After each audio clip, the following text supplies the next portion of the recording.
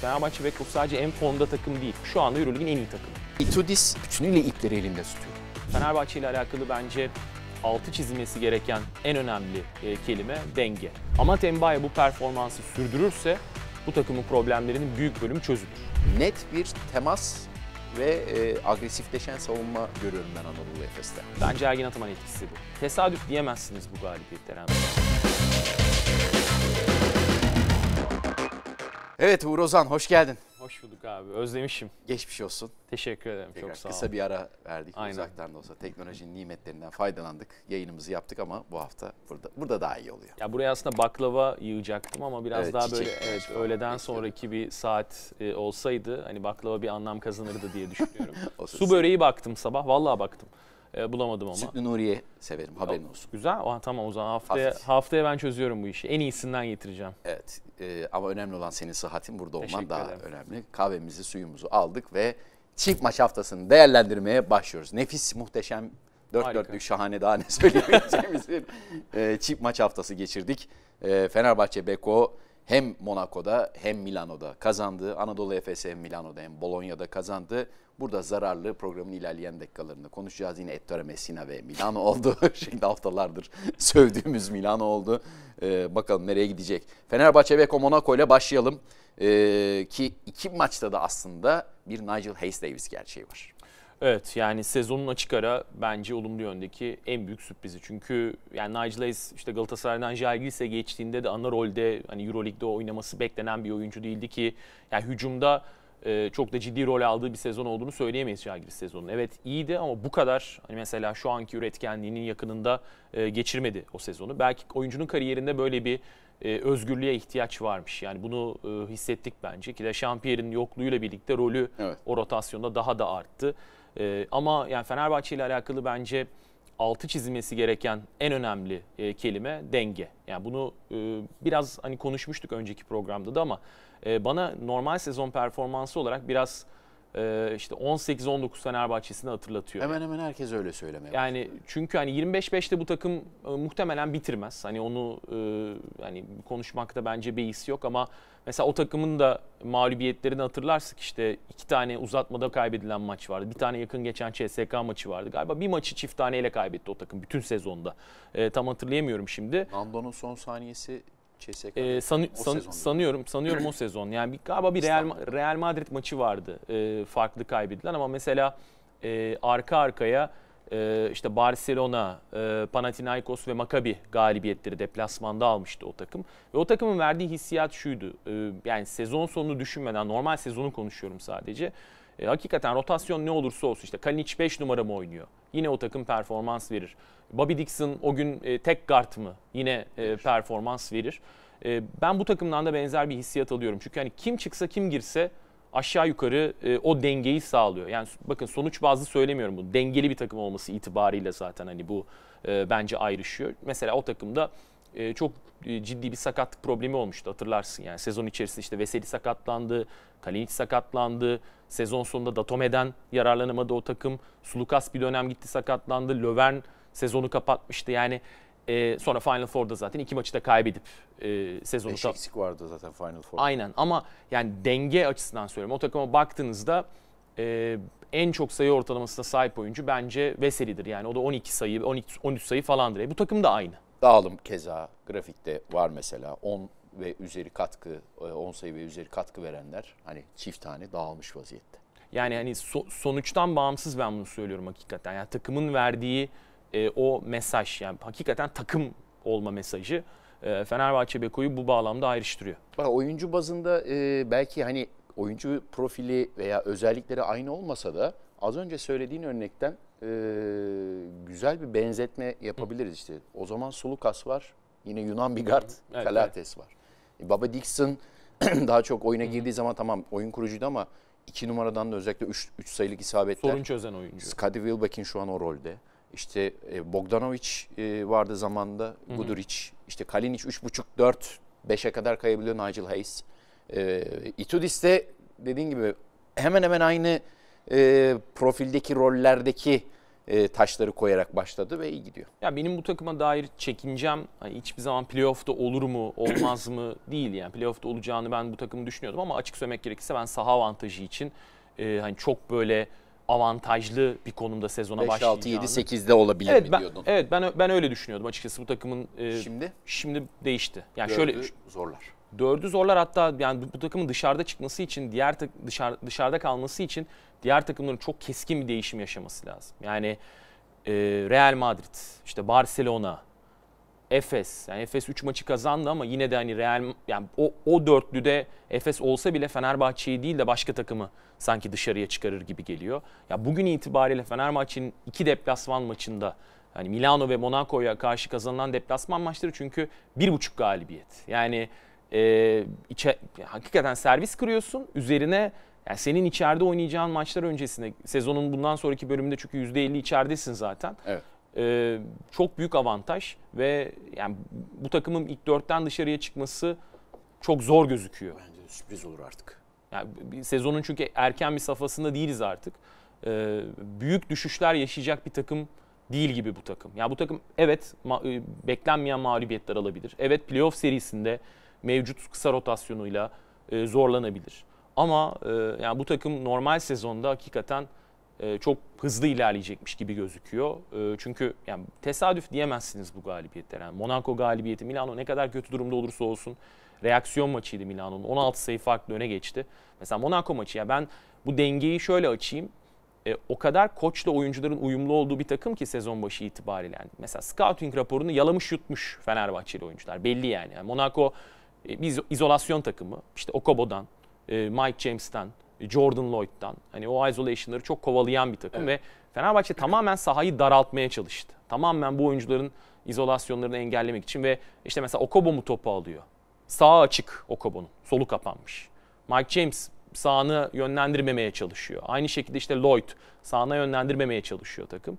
Ee, yani Gudur için e, saçmaladığı bölüm olmasa ikinci yarıda e, bu maç çok daha farklı bir noktaya Ne giderdi. kadar kredisi olsun canım saçmalama Tabii kredisi canım olsun. yani problem değil. zamana kadar Ya bu- iyi götürüyor çünkü. Aynen yani bu maç özelinde bu maç özelinde tabii söylüyorum onu. Yani Gudur için o pe- periyodu o bölümü olmasa hakikaten e, bu maç yani 15'te biterdi belki de 12 ile biterdi neyse. E, yani çok ümit var bir performans. Yani hep tekrar ediyor. Hep ileriye gitmesi, hep tekrar etmesi bence e, işin konuşulması gereken esas noktası. Çünkü Fenerbahçe Beko sadece en formda takım değil. Artık bu tabiri revize etmek lazım. Fenerbahçe Beko tak- takımı şu anda Euroleague'in en iyi takımı. Formdan bağımsız oynanan basketbola baktığımızda. Daha üste çıkmış vaziyette. Ki e, Milano maçında konuşalım. Yani e, Efes'ten çok ağır darbe yemiş bir Milano. Evet. E, fakat yani maçın ilk bölümü resmen e, ki Messina'da maç öncesi açıklamalarında utancı temizlemeliyiz şeklinde girdi işin içine. Yani hani böyle bir artık e, knockout olacak vaziyette değil tam tersi daha da saldırgan bir e, Milano çıktı karşısına Fenerbahçe Beko'nun ama oradan da geri döndü. Evet Milano'da oyun içerisinde işte bir 4-5 dakika rakip takımın yoğunluğuyla karşılaşınca dağılıyor. Efes maçı da böyle oldu. Evet. Ee, Fenerbahçe maçı da böyle oldu. Yani 16 sayıya gitmiş bir maçta işte demin konuştuklarımızın aslında yani şey pastanın üstündeki çileği. Yani bu takım öyle bir takım ki hep reaksiyon veriyor. Hep geri dönüyor. E, Milano'ya karşı da ya kısaların yani yine ben e, ekstra skor bulduğunu da düşünüyorum aslında sezonun bu bölümünde e, diğer maçlara nazaran. Ama e, yani Milano özelinde konuşacak olursak biraz da e, bu, bu maçı değerlendirirken e, psikolojik olarak çok güçlü e, Fenerbahçe Beko ve bu bence maçta etkili oldu. Yani Milano ne yaparsa yapsın koparamadı maçı. Kendi lehine e, tescilleyemedi. Ve oradan sonra da zaten e, hamleyi gördük. Yani Itudis'in çok çok motive olduğunu düşünüyorum ben. Ettore Messina e, matchup'ına karşı. Her zaman. E, Biraz o hissedildi. E, Benzer şekilde mesela Ergin Ataman da iki İtalya deplasmanı e, Ayrı bir motivasyon. ayrı bir motivasyon onun için. Hani bunlar ufak detaylar gibi gözükebilir ama hakikaten bence sahaya e, etki ediyor. E, yani Milano'yu konuşuruz. Yani Fenerbahçe Beko ile alakalı da artık yani gerçekçi hedef e, ilk dörtte olmak. Hatta normal sezon liderliğini e, düşünebilmek bence. E, sonrasındaki hani potansiyel problemler e, sonraki safhada konuşulur. Şu anda bu takımın e, yani takım akıyor. Bu takımın Bu kötü hafta da Real Madrid değil mi? Real Madrid maçı var içeride. O da tabii yine hani bu psikolojik kısmını konuşuyoruz. Psikolojik açıdan çok önemli bir maç çünkü iç sahayı koruyor hep Fenerbahçe Beko. Yani Fenerbahçe Beko'nun çok ciddi bir avantaj yakaladığı kesin. Çünkü işte Euroleague'de normal sezonda kazanılan deplasman maçları e, sezon sonunda belirleyici oluyor ve yani Monaco'yu gördük işte dün de çok zorlandılar ama bir şekilde iç sahada kazanmayı başaran bir takımdı. Bu kadar hakim bir oyunla kazanabilmek e, bence çok etkileyici. Ya Fenerbahçe Beko'nun e, Obradovic sonrası e, iki yıllık e, dönem e, Kokoşkov ve Djordjevic. Biraz daha Sırp ekolünden gitme Hı-hı. devam. Hani geçtiğimiz programlarda da konuştuk Itudis'le ilgili. Hani geçen program şunu söyledik ya, e, yıldızlar topluluğu olması şart değil. Çünkü Obradovic e, de keza e, iddialı olmayan kadrolarla Final Four yaptı. E, onları sıraladık, konuştuk. Itudis'in burada bence bu hafta hani e, şöyle bir şey, Kutlu'yla da konuşuyorduk geçen. E, bir kere iletişim mekanizması e, Itudis'in sadece sağ dışı değil tamam basın toplantılarını Hı. konuşuyoruz ediyoruz ama o bence gelip ha, Obradoviç özentisi diyorlar ya hani bir şeyler sayıklaması, bir şeyler söylemesi pozisyonlarla ilgili işte ikame oyuncunun bak bu böyle yapıyor sen böyle yapmalısın falan gibi devamlı bir iletişimde olması e, hem Fenerbahçe camiasının hem taraftarın hem de oyuncu profilinin belki de aradığı bir şeydi. Çünkü Kokoşko biraz sakin, sessiz sakin bir e, koçtu. Djordjevic de saha dışı iletişimi çok çok iyi, antrenman iletişimi çok çok iyi ama maç içinde hani bazı noktalara Hamleler. tıkandığı yerler e, oluyordu. Ama Itudis e, şöyle diyeyim e, yani bütünüyle ipleri elinde tutuyor. Yani her şeyle ipleri elinde tutuyor ama bu Yasikevicius kontrolü değil. Özgürlük değil. vererek. E, ve bir yerlerde e, hem enerjiyi arttırarak hem düşürerek vitesi arttır, e, boşal vesaire kontrolü çok iyi sağlıyor şu an. Yani net bunu bu iki maçta ben onu gözlemledim. Ya Fenerbahçe yönetiminin e, yani verdiği bir mesaj vardı. Ali Koç yönetiminin işte mevcut düzen sürdürülemez. Bizim küçülmeye gitmemiz lazım. Şimdi bu mesaj verildikten sonra elit seviyede kalmak çok zor. Çok zor. Çünkü hani bu mesaj sadece Türkiye kamuoyuna e, verilmiyor. Avrupa kamuoyuna, menajerlere, herkese siz bu mesajı veriyorsunuz. Evet. Yani aynı paraların ödenmeyeceğine dair. Ve oradan sonra bence Igor Kokoşkov Hani şu anda hani sonucu gördük ve ona göre konuşuyoruz. O gün itibariyle yapılabilecek iyi bir, iyi bir tercih. Doğru. O gün itibariyle. Evet. Sasha Djordjevic değildi. Hani Kokoşkov takımı kurmuştu artık bir de öyle de bir şey var. Yani evet yani ben her zaman burada e, hani Djordjevic tercihini sorguladım. Sorgulamaya da devam edeceğim. Yani o gün itibariyle Avrupa piyasasındaki en iyi koç gibi gözükebilir. Yani en gelmeye hazır, kariyerli koç gibi gözükebilir. Boşta. Boşta olan. Ama e, daha çok risk alabilirdi bence. Maurice, Real Madrid'de de konuşuldu ya bu sene için. Evet, o, tamam. Real Madrid eski oyuncularını biliyorsun. Yani getirmeyi seviyor. Djordjevic de uzun süredir orayı bekliyordu. Ee, ama işte Itudis konusunda şöyle bir ikilem vardı. Yani işte Xavi Pascual, Andrea Trinchieri, Dimitris Itudis. Bu üçlüden e, hani Itudis mevcut talepleri ve bütçenin e, geldiği noktayı düşünürsek acaba doğru kişi mi? Şimdi Itudis o kadar motive geldi ki, o kadar e, hani CSK periyodunun e, bence üstünde bir psikolojiyle buraya geldi ki. E, çünkü CSK'da inişteydi. Bunu konuşmakta bence e, bir beis yok. Ka- kaybedilen Zenit serisi işte 3-1'den kaybedilen. Ya 2019 finalini kazanmasa Tabii. durumu vardı ya. Yani işte zaten her sene sonunda gideceği konuşularak biliyorsun sezonlara evet. devam etti. Ama yani Itudis bence Yunan milli takımının da çok iyi geçmemesinin burada payı var. Çünkü orada da profil açısından biraz sarsıldı. çok motive gelmiş yani çok iyi bir şekilde e, takımın hani organize olduğunu görüyoruz sezon başından beri. Burada tabii ki merkezde Kalatis var. E, onu vurgulamak lazım. Bu da koçun seçimi ve yine tartışılan bir seçimdi Nick Kalatis. E, yani an itibariyle ipler Itudis'in elinde ve sen işte Yugoslav e, hani basketbol okulundan Zagreb koçları ko- zaten ha, ayrı. Aynen koçları söyledin. Aslında e, gerçek Obradoviç döneminin devamı. E, Kesinlikle. Itudis. Evet, yani evet. Yunan bir koç olmasına rağmen o dönemin devamı Itudis. Çünkü e, Fenerbahçe, Beko elit bir basketbol kulübü, elit bir spor kulübü dünyada, Avrupa'da e, ve e, bu isimlerle çalışmalı. Yani buradan e, indirime gidemezsiniz, gitmemelisiniz. E, hiçbir zaman yani Sasha Djordjevic işte o profilde diğer antrenörlerin e, buralarda birincil, ikincil, üçüncül, dördüncül tercihte olmaması lazım bence bu koçlarla çalışmalı e, bizim e, takımlarımız.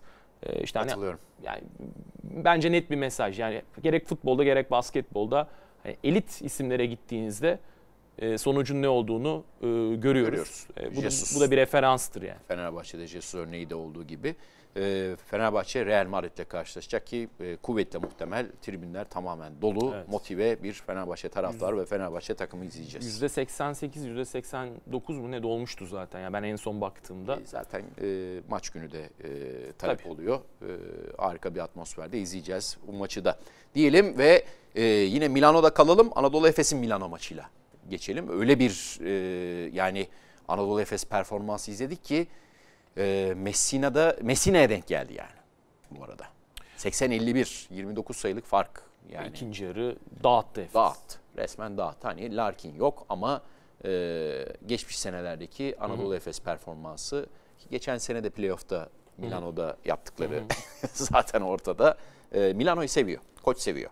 Koç seviyor. Ben yani koç İtalya deplasmanlarını hakikaten e, daha farklı bir hissiyatla Aa, aile oynuyor. gidiliyor zaten yani. oralara. Daha erken daha erken de e, gitmeyi sever hoca evet. Milano deplasmanlarına. Ya şöyle e, bence 3 maçı birlikte değerlendirmek lazım. Yani Bologna, e, Milano ve e, Barcelona. Çünkü hani bu 3 maçın e, belirli temaları var. Nedir? Hani biz sezon başından beri ne konuşuyoruz? İşte uzun rotasyonu problemi. 4 numara. 4 numara. Hatta Plyce'ın formsuzluğuyla birlikte orada işte Dunstan'a bağımlı kalması evet. Ergin Ataman'ın ve bu, bunun hücumu çok daraltması. Çünkü Efes geniş sahada e, oynamayı seven bir takım. Yani en azından yarı sahada 5 numaranın da dışarıya çıkmasıyla birlikte işte 5 dışarıda oynayabilen bir takım. Ee, ki bu işte Sertaç ve Plyce'ın performansıyla birlikte daha yukarıya çıkmıştı Çıktı. ilk dönemlerde. Ama ee, bir tık ama orada bir fark yarattı. Şimdi ona, ona geleceğim zaten. Evet. Şimdi esas değişim şu. 3 maçta. Amat Mbaye 25 dakika, 23 dakika ve 29 dakika. 13'te e, 8 üçlük attı ki işte %62'ye falan tekabül eder. Yani 4 numaradan şut katkısı alamıyordu Efes. Almaya başladı. Almaya başladı. 4 numaradan savunma katkısı ve rebound katkısı alamıyordu Efes. Almaya başladı. Amat Mbaye bu performansı sürdürürse bu takımın problemlerinin büyük bölümü çözülür. Büyük bölüm ama tamamı yani değil. Soru hala Polonara'yı o yani dahil etmeye çalışıyor işin e, içine. E, Polonara ve Žižić zaten hani kısmen rotasyon dışında. Yani oynuyor bu oyuncular ama oynadıkları periyotlardaki işte hani oyun belli. Şimdi e, son 3 maçı neden birlikte değerlendirelim dedim. Efes'in en verimli 5'i. Yani toplam 3 maçta 29-29,5 dakika civarı süre almış bir 5 bu. E, işte Mitsic, e, Boboa, Clyburn, Mbaye, Plyce. Yani 3 maçta 30 dakika oynamış neredeyse en yakın 5 10-11 dakika oynamış 3 maçta toplam. Yani 3-4 dakika ortalama ile oynuyor maç başında diğer arasında Konya var bu arada. Konya maçında var evet. Yani ben, aynı kadro oynadı. aynen bak güzel söyledin çünkü orada da yüklenildi oyunculara. Ee, bu 5 3 maçta ortalama 25 sayı fark attı e, rakipleri. Ki rakipler dediğim gibi Barcelona, Bologna ve Milano. Yani Milano sonuncu olabilir ama bu kadro sonunculuk kadrosu değil yani. Hani e, maçın önemi ve Milano'nun durumu düşünüldüğünde o da bir reaksiyon maçıydı. Şimdi bu üç maçta bir tema var. Yani dört numaradan performans geliyor. Boba son maçla birlikte zaten iyice devreye evet. girdi. E, şut katkısının nasıl arttığını görüyoruz. Oyunu açabildi Efes. Ve oyunu açtıktan sonra zaten Efes'in kendi oyununu yavaş yavaş ortaya koyduğunu hep gördük, hep görüyoruz. E, üçüncü periyotta maçı aslında koparmaya yaklaştığı bölümde Bologna maçında Efes, Mbaye'nin 3 tane üçlüğü var. Ve hepsi dönen pozisyonlar yani ona gelen e, oyunlar. Hiçbir şekilde force etmediği, zorlamadığı pozisyonlar. E, Plyce'ın benzer şekilde e, yani tepe ikili oyunuyla işte açılan uzun olarak attığı uzun mesafeli ikilikler hani çok e, yine sıklaştı. Yani Efes oyununu buldu bu bağlamda ama hani benim şu soru işaretim baki diyorum yani kazanırken de tekrar söylüyorum. Ben 4 numara kısmında. Yani çünkü 4 numara şu an çok net fark etti. Herkes görüyordur yani. 4 numara bu kadar iyi oynayınca Mbaye'nin performansı yukarıya çıktı takım. E Plyce form tutacaktı. Onda bence bir sıkıntı yok. Ha buradaki sürekliliği sağlayabilmek adına eğer Efes 4 numarayı pansuman yapabilirse e, çok başka bir noktaya gidebilir iş bu bağlamda. Ama işte hiç hiç görmedik. Yani Mbaye'nin kariyerinde böyle bir sekans yok. Böyle bir 3 maç yok. Çünkü Barcelona maçında en iyi savunmacısıydı takımın. E, son iki maçta da e, yine üçlük isabetleri var. Yani toplamda işte 10, 13'te 8. Volüm de yüksek. Yani 3 maçta 4'ten fazla üçlük denediği bir periyot. E, yani e, umutlu olmak için sebep var. Çünkü Mbaye başka bir e, şey koydu e, takıma. Şimdiye kadar takımın alamadığı bir katkıyı verdi 4 numaradan. Ee, savunma kısmı özellikle. Geçen hafta da e, Ergin Ataman'a sormuştum. Hani Aydın abinin e, sloganından yola çıkarak tabii bu günümüz basketbolu o sloganlara çok uygun değil diye e, söylemişti. Ama 90 atmasında bir problem yok Anadolu Efes'in ama kaç sayı yerse kazanır diye. Hı hı. E, Milano 51 sayı, Bologna e, 76 hı hı. ki e, Bologna daha farklı olabilirdi. Biraz daha e, seyirci de girdi Yavor'da biraz evet, meşhur tart- Yavor'da enteresan işleri imza aldı götürdü bir ara maçı. E, hakem etkisi olarak söylemiyorum. Yani Yavor'un kendi kendine bir e, durumu söz konusu. E, ve yani orada da daha farklı olabilirdi. Net bir temas ve e, agresifleşen savunma e, görüyorum ben Anadolu Efes'te. Yani, Barcelona maçıyla başlayan senin az önce söylediğin. Doğru. Şimdi de işte çok önemli bir Olympiakos maçı var. Yani Efes'in e, yine dolu tribünleri oynayacağını tahmin edebiliriz e, Fenerbahçe Beko'ya benzer şekilde. Ve e, o da yani Olympiakos'un da çok işte kontak seven, Sever. sert bir takım olması işte Mustafa Fal'a karşı yine e, yani mevcut uzun rotasyonun performansı, Vezenko ve Mbaye eşleşmesi e, bunlar hep bence referans olacak sezonun ilerleyen bölümü için. Ya yani şu anda işler iyi gidiyor. Ee, dediğim gibi yani umutlu olacak bence e, bir yan ortaya çıktı ciddi anlamda. Mbaye'nin performansı o da. E, sürdürülebilir mi? E, göreceğiz. Yani ben tekrar altını çiziyorum. hoca kısa rotasyonunu hep söyledi ama e, takımı değiştiren Uzun. uzunlar. Yani Plyce ve e, Mbaye başlıca olarak Mbaye. Çünkü Polonara'dan belirli oranda vazgeçti. Jijic'ten tamamen vazgeçti gözüküyor. Yani oynadığı süreler zaten hani bu maç bu maçtan önce de 3 dakika ve 0 dakikaydı. Dunston'ın belki de normalde planladığı süreleri Tabii. şu an şey yapıyor. Dunston daha çok oynuyor. Ya Dunston gitseymiş bu takımdan sıkıntı e, olurmuş hakikaten. Gerçekten sıkıntı olurmuş. Yani işte başka uzunlara da baktı Efes sonuçta. E, sıkıntı olurmuş ama e, ben belki yani burada tabii bir tahmin tamamen hiçbir bilgim yok. E, yanlış anlaşılmasın. E, Mike Toby'den çıkacak Barcelona. Yani e, Mike Toby'nin kontratı bitecek ve işte Mirotic tamamen artık e, takıma entegre olduktan sonra kuvvetle muhtemel Maktobi ile yollar ayrılacak. İspanyol medyasında ve yine hani e, kulağımıza gelenler bunlar. Mike Toby bir 4 numara değil e, ama Efes çok switch yapan bir takım da değil. Yani Mike Toby zaten ilgilendiği bir oyuncuydu biliyorsun Ergin Ataman. Jock Landale ve Mike Toby birincil ve ikincil e, oyunculardı. İlk şampiyonluktan sonraki yazda transfer edilmesi planlanan. Landale ismi bayağı... E, Landale zaten Spurs'e gitti. Şimdi hala NBA'de devam ediyor kariyerine. Yani oraya bir 4 numara e, profilli yani 4.5 e, alır mı e, Efes? Çünkü dediğim gibi yani switch yapan, switch temelli bir takımda e, Mike Tobin'in olması kolay değil. Ama Efes gibi bir kadroda Mike Toby cuk oturabilir. Çünkü reboundçu da bir oyuncu. Ama işte Jijic'i ne yapacaksınız? Yani Jijic e, Mike Toby çünkü 5 numaradan ciddi süre alacaktır bence. E, Efes'in hani onu olu kaldırabilecek e, bir oyun tarzı var. E, iki uzun oynamaktansa hani Mike Toby'yi 5'e atıp çok e, kısıtlı dönemlerde de yine çift uzunu belki e, deneyebilir burada e, Ergin Ataman. E, bir tahmin. Sadece bir tahmin. Konu açılmışken Singleton ismi de Fenerbahçe için de geçiyor. E, Singleton evet yani var zaten ilgisi yani Fenerbahçe'nin de Efes'in de ilgisi var ama Şimdi Yelitsa konusu biraz uzayacak gibi gözüküyor. Gibi. Ama Singleton'ın ben birçok kez söylemiştim bu programda. Ben Ocak'tan önce yere gideceğini düşünmüyorum yani. Ben Ocak'a kadar dinleneceğini, Ocak başı işte menajerine talimatı vereceğini e, artık hazırım. E, Şu an bize Hawaii'den bağlanıyor. Senin programımıza hoş geldin. artık hazırım ve bu 4 ayı 5 ayı oynamaya e, niyetliyim e, ifadesi bence e, Singleton özelinde gelecek hı hı. cümle. Bu arada her iki maç içinde Clyburn'un performanslarını biz e, almıştık. E, Clyburn'un zaten hani o iş bence artık geçti de hani e, işte Darüşşafaka'da Lasson'un gömülü savunma yapması, şut atamaması, sonra 2019 finalinde Efes'in canını yakması vesaire ama bu sezon ben daha ekstra bir özgüvenle dış şut konusuna gittiğini Milano maçında 24 sayı 9 rebound double double'ın kıyısından döndü. Bologna maçına da bir bakalım arkadaşlar. O da 21 sayı 7 rebound ve Bologna maçında çok kritik 3 evet, maç, isabet. Maçı alan maçı alan 3 sayılık attı sol forvetten. Ee, bence Ergin Ataman etkisi bu. Yani hmm. oyuncularda Rahatlık. oyunculardaki bu e, hani inisiyatif kullanma özgürlüğü e, yani her anda etki ediyor. Yani Mitsic'in performansı kariyerinde işte Mitsic e, oynamayan bir oyuncu değildi Euroleague'de ama oynadığı tarz iki numaradan post-up, çift e, uzun, pan, çift kısa özür dilerim Pangos'un yanındaki evet. iki, ikinci tercih. E, Efes'e geldi. İşte Larkin sakatlandı. Larkin'in sezon başındaki yavaş performansı vesaire derken e, Mitsic bir inisiyatif buldu. Bunu kullandı ve kariyeri bambaşka bir noktaya gitti. Yani Avrupa'nın en iyi 20 oyuncusu arasında sayılmıyorken Avrupa'nın en iyi oyuncusu tartışmasına girdi Vasilya Mitsic 2 yılda.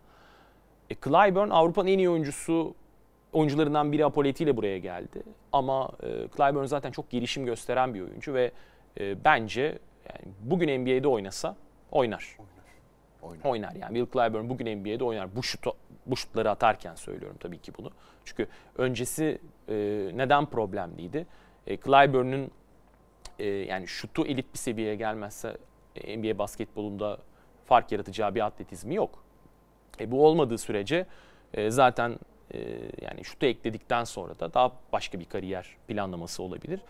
E, Ergin Ataman etkisi bence bu oyuncuların performansının bu bağlamda e, ayrışması. E, hocanın alameti farkası zaten bu. Clyburn'un de Nigel Hayes'in de bir Avrupalı gibi e, sırtı dönük oyunları ki Amerikalı oyuncular da çok sırtı dönük oynar ama son dönem Amerikalılar genellikle hep yüzü dönük oynamayı e, sever. Atletizmlerini göstermeyi sever ama çok uzun zamandır yani özellikle Clyburn e, Almanya kariyeri de var onun. Evet, Ulm. E, sonuç olarak ama Nigel Hayes de Galatasaray e, vesaire oynadı. Ee, Avrupa etkisini o kadar iyi üstlerine alıp yansıtıyorlar ki o sırtı dönük oyunun üzerine bir de geri fadeaway şutlar da e, ayrı bir noktaya geldi. Nigel Hayes'te de, Clyburn'de. Itudis'in de ve Ergin Ataman'ın da etkisi e, verdikleri özgürlük e, net bir şekilde ortaya çıkıyor. Peki e, şöyle bir toparlayalım biraz İtalya tarafını da e, konuşalım. E, Messine'yi konuşuyoruz, konuşuyoruz. E, bu maçtan sonra pek etki e, olmadı galiba Fenerbahçe maçından sonra. Ben acaba bir Don Pablo ismi konuşulur mu demedim değil. Ya sezon ortası... Ama Messina koç gibi değil orada bu arada yani. Yani evet sezon... Başkan gibi zaten. Başkan gibi. Sezon ortası çok bunun e, olacağını ben düşünmüyorum. Çünkü e, Messina bırakır tahminimce. Yani e, ben görevine son verileceğini, kovulacağını zannetmiyorum. Yani Messi çok akıllı bir adam. Yani, e, şu an Avrupa basketbolundaki e, zaten tartışmasız kariyer olarak baktığımızda Obradovic'in ardından gelen koç. Hiç e, başka bir koçu koymaya gerek yok oraya şu bugün itibarıyla. Ve Ettore Messina kovulacağını anlarsa ondan önce hamle yapıp zaten bırakır. Bence bırakır. Ve e, burada tabii İtalya milli takımının da e, yani ile görece iyi bir yaz geçirmesinin e, bence seçenekleri daralttığı bir e, yapı var. Yani Ettore Messina şunu analiz etmiş olabilir. Koç yani koçluğa devam etmek istemiyorsa bence Milano'da kalacaktır. Yönetici pozisyonda bir şekilde işte e, yani Stavropoulos'un üstünde bir yerde konumlanacak şekilde başkan rolünde kalabilir bir noktada. E, çünkü Stavropoulos da zaten hani Olympiakos'tan oraya getiren o. Evet. E, çok eski arkadaşlar. Liseyi İtalya'da okuyan biri yani hı hı. Stavropoulos. E, yani bugün itibariyle ben Ettore Messina'nın e, bırakma ihtimalini az görmüyorum ama sezon ortasında Milano e, bir koça gider mi? Yani Dan Shamir devam edebilir eğer bırakmazsa işte Mario Fioretti devam edebilir bilmiyorum ya da başka bir İtalyan koç gelebilir. E, Pozecco olmaz mı tekrar? Pozecco çok iyi ayrılmadı bence. Öyle bir kısım da var çünkü yani İtalya milli takımına biraz hani şey yaptılar, evet gönderdiler. E, Pozecco olur mu emin değilim. Yani zannetmiyorum daha doğrusu. E, ama yani Milano'nun bu kadroyu toparlaması e, çok problemi çıktı. Çok mümkün gözükmüyor. Evet yani çünkü yani Pangos, Brandon Davies bu oyuncular çok merkezi rolde oyuncular ve nabız vermiyorlar. Yani sakatlıktan bağımsız bu oyuncular sahadayken e, gerçekten Ettore Messina takımı gibi hareket etmiyorlar. Çünkü yani o yarı saha basketbolunda kısanın rolü çok önemli ve Pangos'un bu kadar kötü oynaması zaten bence yani temel problem şu andaki takımda. Ama Milano'nun işte sınırsız bir bütçesi var, sınırsız bir parası var. Timothy Livovu Cabarro'yu aldılar, işte yarın öbür gün başkası sakatlanır, başkasını alırlar. Ama işte artık şu soruyu sormamız lazım bence. Ettore Messi'nin dönemi geçiyor mu ya da geçti mi? Mesela e, yine o Obradovic'in arkasındaki e, antrenörleri sayarken çok önemli bir isim var Avrupa basketbolunda. İşte Bojder Majkovic yine e, işte Limoges'da şampiyon oldu, Panathinaikos'ta şampiyon oldu, Yugoplastika ile şampiyon oldu. E, baktığımızda sayılar eşit aslında.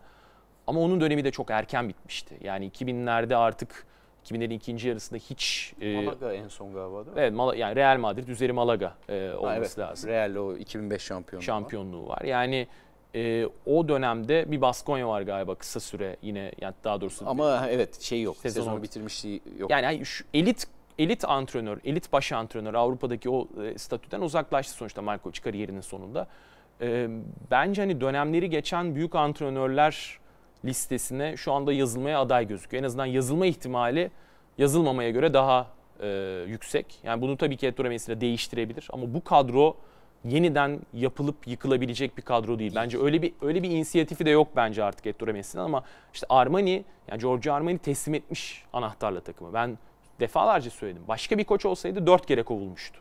Ama Ettore Messina zaten kovulmaz. Yani Jelko Obradovic, Ettore Messina bu antrenörleri kovamazsınız yani. Bu antrenörler kov, kovunucu, kovulacağını anladıktan sonra e, zaten o hamleyi yaparlar ve bırakırlar. Karşılıklı anlaşmayla biter bu iş. E, çok zor bir sezon yani Milano için çünkü Ettore Messina söyledi e, Fenerbahçe maçından sonra. Dedi ki işte ben istifayı düşünebilirim yani bu başka bir e, liderin bu takıma e, hükmetmesi belki hani mümkün olabilir. Başka bir antrenör gelebilir demişti. E, Efes maçında takımının işte bir reaksiyon vermesi önemli. Çünkü bunlara bakılır biliyorsun yani. Oyuncular koçla aynı sayfada mı? 16 sayı öne geçen bir takım, e, nabız veren bir takım, performans veren bir takım koça sırtını dönmemiştir. Şimdi bu Milano yönetiminin, Armani'nin artık yani oradaki bütün paydaşların cebindeki bir done bence.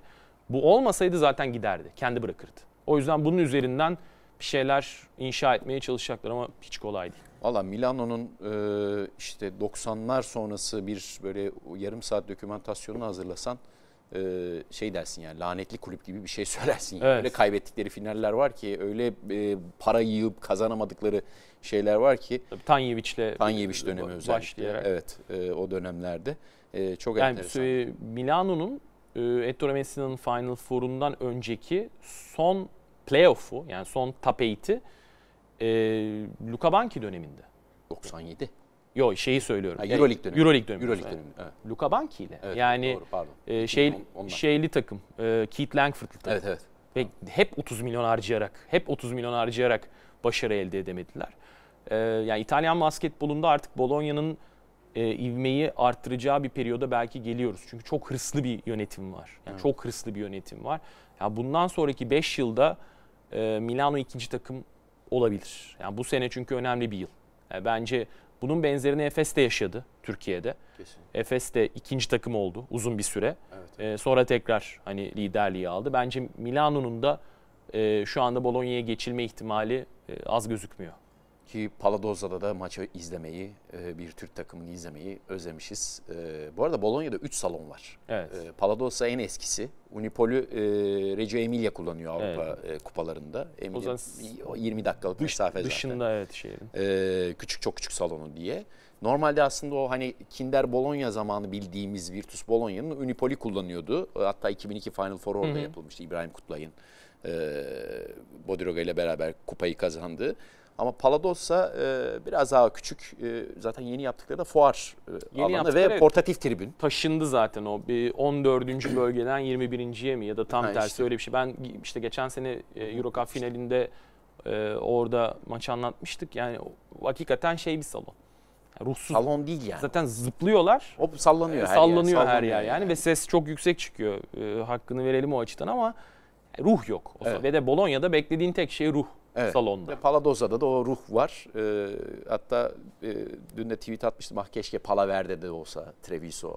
Ee, Malaguti. e, yani Vareze'nin olduğu dönemler, Pozzecco'lu dönemler. İtalyan basketbolu Euroleague'de her zaman olsun. Bence güzel oldu e, Bologna'nın da bu işin içine girmesi. Biz de harika bir çift maç haftası atlattık ve e, şöyle var mı ekstra e, konuşabileceğim? Yani Panathinaikos e, 2'de 2. Panathinaikos 2'de 2 onlar yükselişe geçtiler. Bayern e, dün kaybetti ama Bayern de işte son 6 maçı 5'ini kazanmıştı Almanya Ligi'nde dahil edersek. Onlar da yine yukarıya gidiyorlar.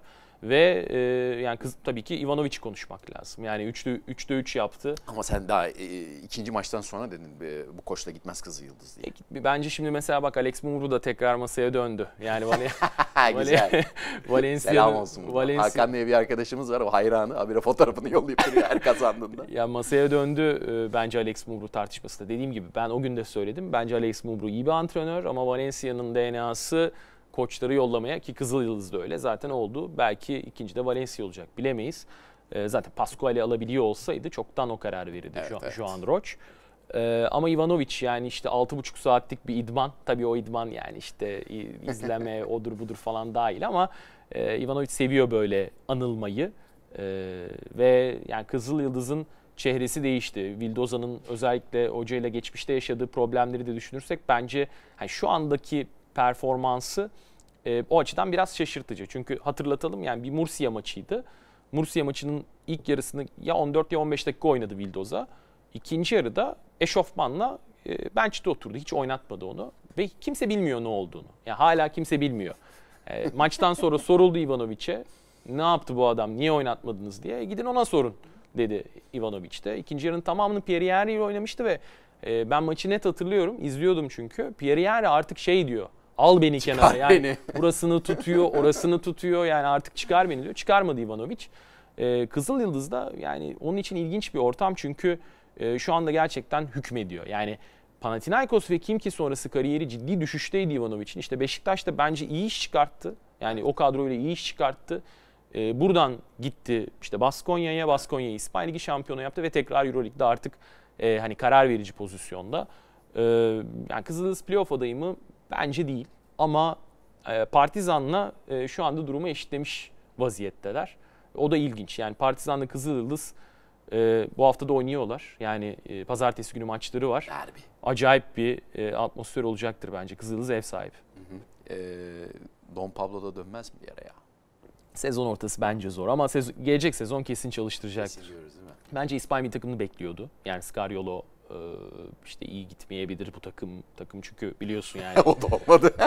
takım Nasıl bir takım? hiçbir sıfır beklentiyle girdi. E, ama İspanya'nın her zaman gizli bir beklentisi vardı. Yani İspanya bizim grupta mesela e, kötü bir basketbol sergileyip ilk maçta elenseydi oradan sonra bence Scariolo devam etmezdi. Kulüp takımı olduğu için, kredisi olmadığı için değil. Evet, yani evet. kulüp takımında devam ettiği Ama için. nereden nereye geldi o?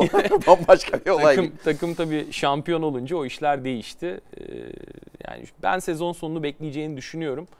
Ama be- bekleyip göreceğiz. Peki ağzına sağlık. Senin de ağzına Haftaya sağlık. tekrar birlikteyiz. Ee, Fenerbahçe Real Madrid'de oynayacak. Efes Anadolu Efes e, Olympiakos'ta oynayacak. Final Four. İstanbul'da bu hafta belki de. Ben, aa, güzel. Bırak, bak, soracaktım bu Kaunas ne oldu diyecektim. Tamam 3 nokta deyip haftaya görüşmek üzere o zaman.